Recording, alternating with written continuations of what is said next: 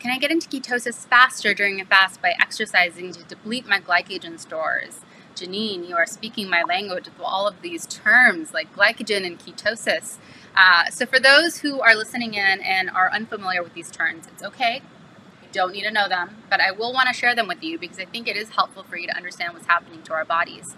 So, when we eat food, especially when we're eating carby types of foods, we're um, uh, we have glycogen that we are creating and we have stores of glycogen. And glycogen is what we use to fuel ourselves. That is actually what, before intermittent fasting, what powered us through the day. And this is kind of why when you are emotionally want to stress eat or having super late nights and you're super tired, you'll lean on food because that food is actually going to increase your glycogen stores and give you energy. And it's kind of why we associate the two. Now, when you do intermittent fasting, your body actually burns through that glycogen store. It uses all of that up for energy and for your fuel. But at like 14 to 16 hours, for most of us, we've depleted our glycogen store.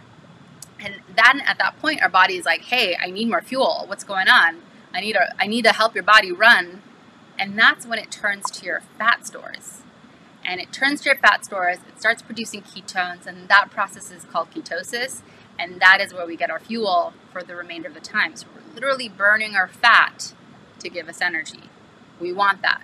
Now, your question is if you exercise, will that help deplete your glycogen stores faster? Yes. Um, and that is the beauty of what's called fasted cardio because you are actually accelerating that process. Now, I'm going to, huge disclaimer, you do not need to do exercise to see amazing, wonderful progress with intermittent fasting. So don't feel like you have to jump into adding that right away and doing it a certain amount and being perfect with it.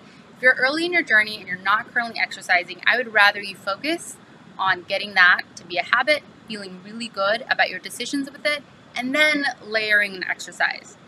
If you're someone who is exercising prior to intermittent fasting, then IF is that layer that you're focusing on, right? So I just want you to be mindful of that. Uh, but yes, long answer to your question. Uh, exercising does help deplete your glycogen stores and helps you get into the process of ketosis faster.